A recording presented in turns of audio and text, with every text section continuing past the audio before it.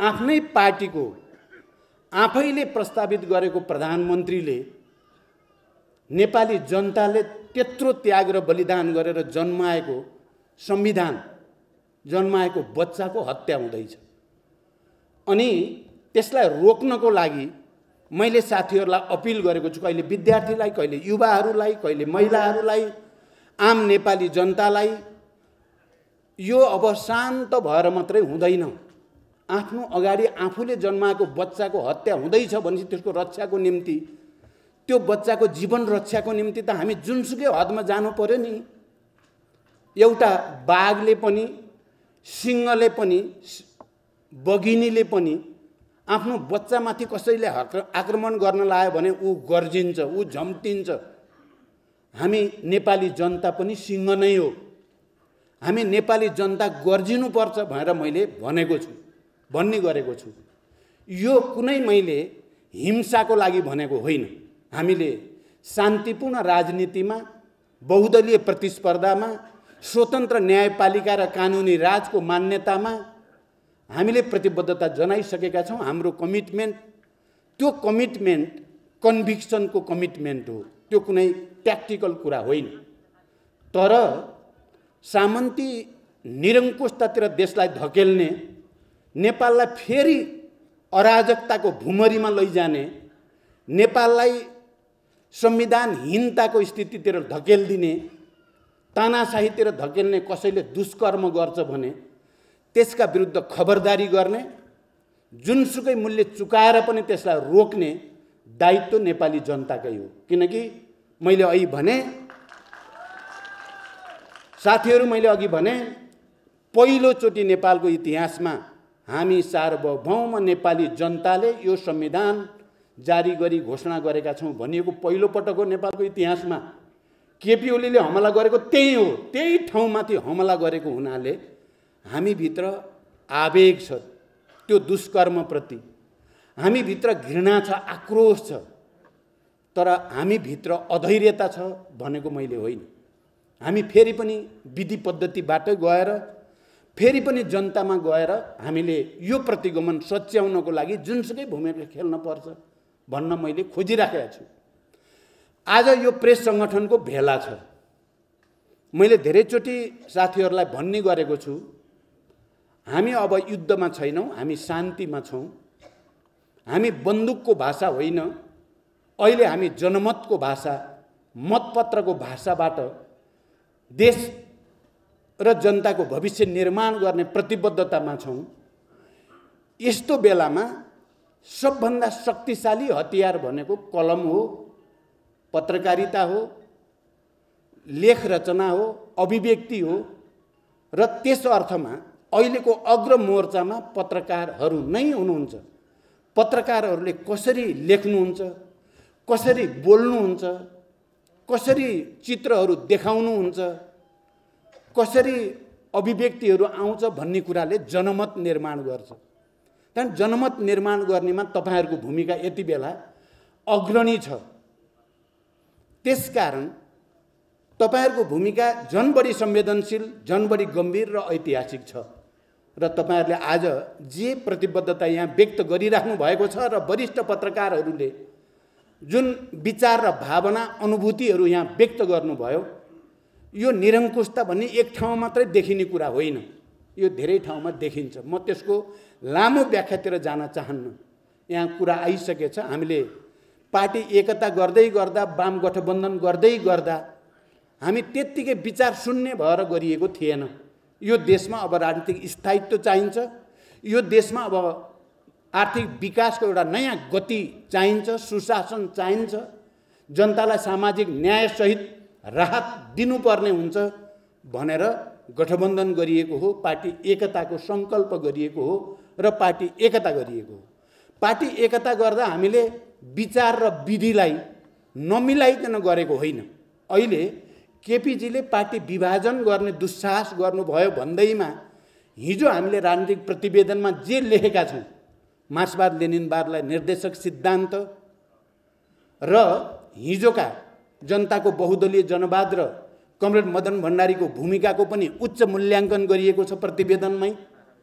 माओवादी जनयुद्ध र आन्दोलनको पनि उच्च मूल्याङ्कन गरिएको छ एक्काइसौँ शताब्दीको जनवादको पनि। यो शान्ति प्रक्रियासम्म ल्याउने र गणतन्त्रसम्म ल्याउन प्रचण्डको भूमिकाको पनि त्यहाँ समुचित मूल्याङ्कन गरिएको छ र अनि भनिएको छ अब चाहिँ जबज होइन अब एक्काइसौँ शताब्दीको जनवाद पनि होइन। अब चाहिँ समाजवाद उन्मुख जनताको जनवाद हुँदै समाजवादको लक्ष्यतिर अगाडि बढ्ने हो भन्ने कुरामा हामी त्यति बेला संयोजन समितिका सबैले हस्ताक्षर गरेका छौँ जसमा केपी ओली पनि हुनुहुन्छ। साथीहरू तपाईँहरू विचार गर्नुहोला।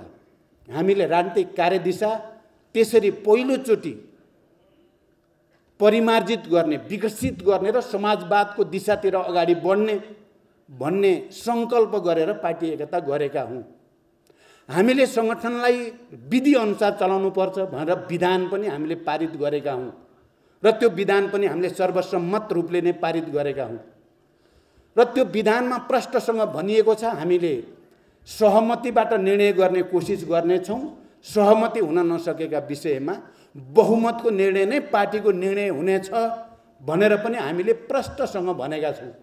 नेपाल कम्युनिस्ट पार्टी नेकपाको सर्वसम्मत रूपले पारित विधानको धारा साठीमा त्यो कुरा बडो स्पष्ट शब्दमा लेखिएको छ।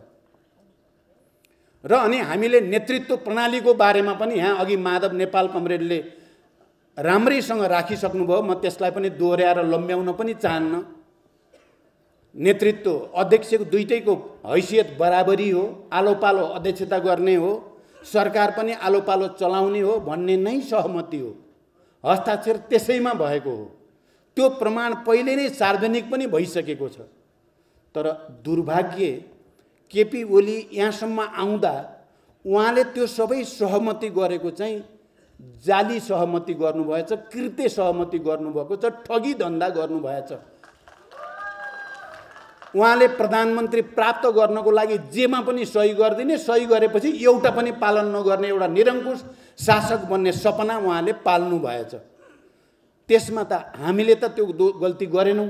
अहिले माधवजी हामी झलनाथजी वामदेवजी समेत र पार्टीको केन्द्रीय समितिको दुई तिहाई बहुमत। यो कुनै गुटको कुरा होइन। यो पार्टीको कुरा हो। आधिकारिकता र प्रामाणिक रूपमा हामीले बैठक बसेका छौँ र निर्णय गरेका छौँ। विधिसम्मत तरिकाले। भने उहाँले पार्टीको न राजनीतिक प्रतिवेदन कहिल्यै स्वीकार्नु भयो न पार्टी विधान कहिल्यै मान्नुभयो न सामूहिक निर्णय र व्यक्तिगत जिम्मेवारीको व्यक्ति पार्टीको अधीनमा हुन्छ भन्ने सार्वभौम अन्तर्राष्ट्रिय मान्यतालाई पालन गर्नुभयो। जब पार्टीले त्यसको विरोध गर्यो उहाँको आलोचना गर्न थाल्यो अनि पार्टीको सचिवालय पार्टीको स्थायी समिति पार्टीको केन्द्रीय समिति सर्वत्र अल्पमतमा परेपछि र अब पार्टीले मलाई कारवाही गर्ने भयो भन्ने देखेपछि उहाँले पार्टीभित्र पार्टी विधि पद्धतिमा चल्न छोडेर पार्टीसँग सरोकार नभएको संसद जनताद्वारा निर्वाचित सार्वभौम संस्थालाई नै भत्काउने दुस्साहस उहाँले गर्नुभयो। त्यसकारण यसलाई आम जनताको बिचमा एक्सपोज गर्नु अहिले पत्रकारहरूको एउटा ऐतिहासिक दायित्व हुन आएको म ठान्दछु। र म के पनि स्मरण गर्न चाहन्छु भने हुन त यहाँ अहिले नारायण वागले चाहिँ थोरै बोलेर जानुभयो। म के स्मरण गर्छु भने बैसठी त्रिसठीको आन्दोलनको ठिक्क अगाडि म भूमिगत बसेको ठाउँमा त्यति बेला कान्तिपुरको सायद उहाँ सम्पादक हुनुहुन्थ्यो नारायण वागले र अर्को चाहिँ प्रतीक प्रधान उहाँ वामपन्थी खेमाको होइन उहाँहरू दुवैजना उहाँहरू मलाई भेट्न जानुभएको थियो भूमिगत रूपमा। बडो चाहिँ संवेदनशील र जटिल परिस्थिति थियो किन त्यति बेला प्रचण्डलाई भेट्ने भनेको जसको टाउको मूल्य तोकिया छ उसलाई गएर भेट्ने त्यो पनि वाम इतर डेमोक्रेटिक खेमाका पत्रकारले भेट्ने भनेको कुरा बडो चुनौतीको कुरा थियो। तर उहाँहरूले त्यो चुनौती स्वीकार गर्नुभयो मलाई भेट्न जानुभयो। मसँग अन्तर्वार्ता लिनुभयो। प्रत्यक्ष भेटेर। त्यो अन्तर्वार्ता कान्तिपुरमा छापियो पनि। र त्यसले बाह्र बुँदे समझदारीको आधार निर्माण गर्न अनि ऐतिहासिक जनआन्दोलनको आधार निर्माण गर्न महत्त्वपूर्ण भूमिका खेल्यो। जनयुद्ध र जनआन्दोलनमा जनयुद्धमा सबै जोखिमहरू मोलेर पत्रकारिता मार्फत जनमत निर्माण गर्ने वरिष्ठ पत्रकारहरू यही हुनुहुन्छ। कसरी चाहिँ झोलामा डोकोमा रेडियो बोकेर रेडियोबाट प्रचार गर्ने मेसिनहरू बोकेर पत्रिका छाप्ने सबै कुरा मैले प्रत्यक्ष आफ्ना आँखाले देखेको छु। यसरी के वामपन्थी के जनयुद्धमा सहभागी के जनआन्दोलनमा सहगा सहभागी के शान्तिपूर्ण आन्दोलनका सहयात्री के विद्रोहका सहयात्री सबै क्षेत्रका पत्रकारहरूले परिवर्तनको पक्षमा गणतन्त्रको पक्षमा संविधान सभाको पक्षमा शान्तिको पक्षमा पहल कदमी गरेकै कारण बैसठी त्रिसठीको आन्दोलन सम्भव भयो। सङ्घीय लोकतान्त्रिक गणतन्त्र शान्ति सम्झौता सम्भव भयो। आज त्यो धरापमा परेको छ। मैले अघि नै भने आज त्यो धरापमा छ त्यो आज त्यो आइसियुमा छ। त्यसलाई कसले बचाउने? त्यसलाई बचाउने जिम्मा फेरि एकचोटि जनमत निर्माताका हैसियतले हिजोको यसको सहयात्रीको हैसियतले पनि हामी सबैको काँधमा जनमत निर्माणको दृष्टिकोणले तपाईँहरूको काँधमा अझ विशेष रूपले आएको म महसुस गर्दछु। त्यहाँ मेरो तपाईँहरूसँग विनम्रतापूर्वक अनुरोध छ। प्रतिक्रान्तिलाई हामीले जसरी पनि पराजित गर्नु छ लोकतन्त्रलाई जसरी पनि हामीले बचाउनु छ संविधान बचाउनु छ र परिवर्तनको यो प्रवाहलाई रक्षा गर्नु छ यो हाम्रो लागि जीवन मरणको प्रश्न भयो। यो हाम्रो लागि सामान्य औपचारिकता पुरा गर्ने प्रश्न मात्रै भएन। हिजो उहाँले जो जो विदेशी शक्तिलाई खुब विरोध गरेर राष्ट्रवादको नारा लगाउनुहुन्थ्यो तिनैसँग कुनै न कुनै रूपले चाहिँ लम्पसार परेर उहाँले पार्टी फुटाइ छाड्ने दुस्साहस गर्नुभयो। म अरूलाई विदेशीलाई कसैलाई अहिले दोष दिन चाहेको पनि छैन मेरो कसैप्रति भन्नु छैन। मलाई केपी ओलीमाथि नै प्रश्न छ। तपाईँको राष्ट्रवाद खोक्रो राष्ट्रवाद सामन्ती राष्ट्रवाद बाहेकै साबित भयो। तपाईँ सच्चा राष्ट्रवादी हो भने पार्टीको विधि विधान अनुसार चलेर निकास दिन तपाईँलाई केले छेकेका थियो? प्रधानमन्त्री त हामी धेरै भएका छौँ नि। माधवजी प्रधानमन्त्री हुनुभयो छोड्दाखेरि पार्टी फुटाउनु परेको थियो र माधवजीलाई।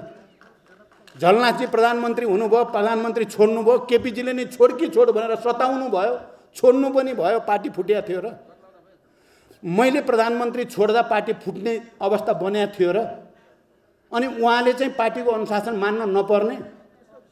अहिले हामीलाई गाली गर्नुहुन्छ। पार्टीले गर्दा संसद भङ्ग गर्न पर्यो। योभन्दा ठुलो कुतर्क अरू के हुन सक्छ?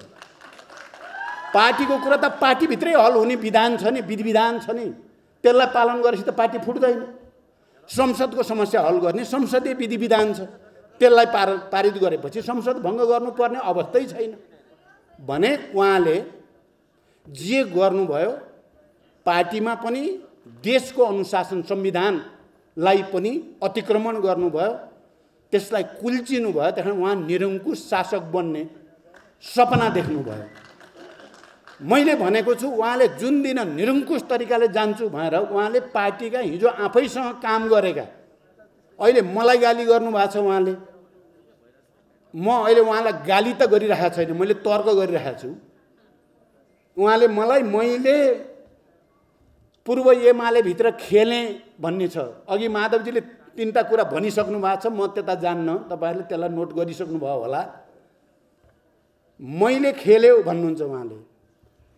म के भन्छु भने तपाईँ पचास वर्षदेखि काम गरेका कोहीले पन्ध्र वर्ष कोहीले दस वर्ष पार्टीको नेतृत्व गरेका माधव नेपाल झलनाथ खनाल प्रधानमन्त्री भइसकेका देशको राजनीतिमा स्थापित व्यक्तित्वलाई तपाईँ पचास वर्षदेखि सँगै हुनुहुन्थ्यो तपाईँले चाहिँ फकाउन नसक्ने विश्वासमा लिन नसक्ने यो भर्खरै एकता गरेको प्रचण्डले सजिलै विश्वासमा लिन सक्ने कसरी भयो कमरेड केपी ओलीजी भनेर म भन्न चाहन्छु।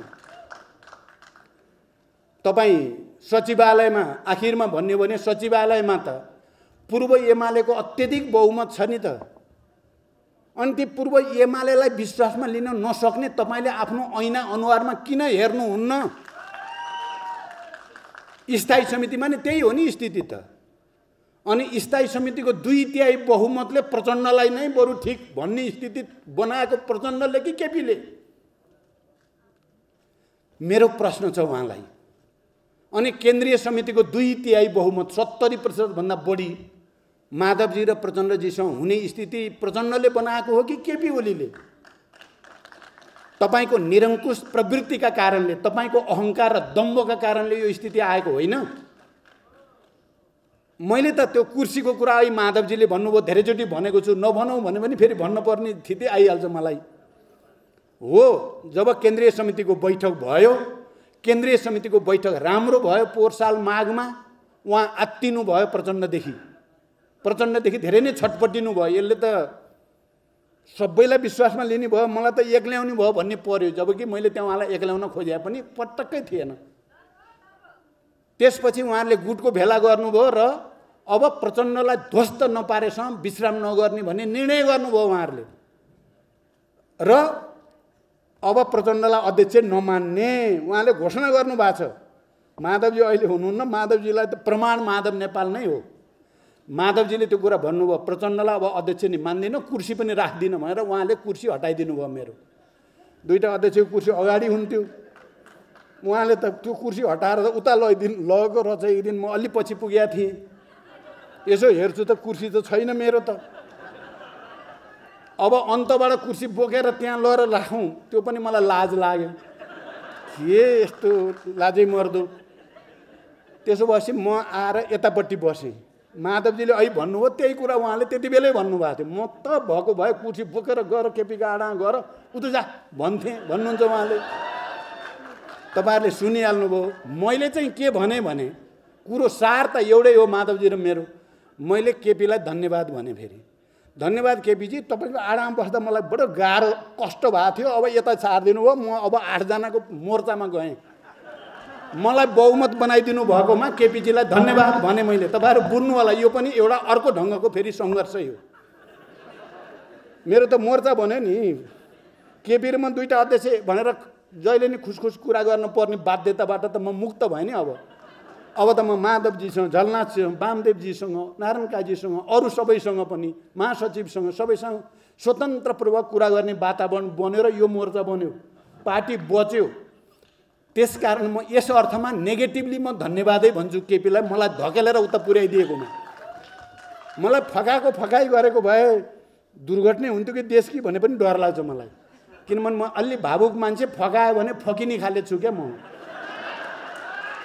अलि भावुक भएको हुनाले उहाँले धकेल दिएर पठाइदिएपछि त फेरि म कठोर हुन पऱ्यो भने म युद्धको नेतृत्व गर्ने कमान्डर पनि थिएँ नि त एकचोटि त।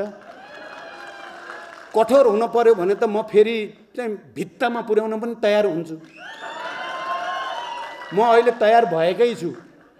म केपिजीलाई के भन्छु भने गल्ती गर्नुभयो।